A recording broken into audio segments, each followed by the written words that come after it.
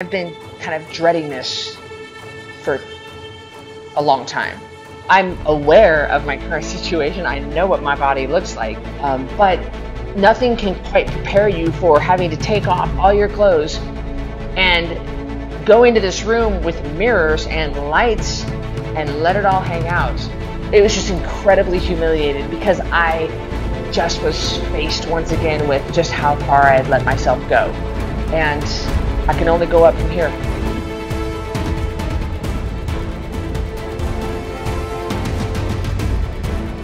Are you telling me you're gonna leave by this bullcrap? Death is coming sooner to you. People don't know what it's like to have an addict for a sister.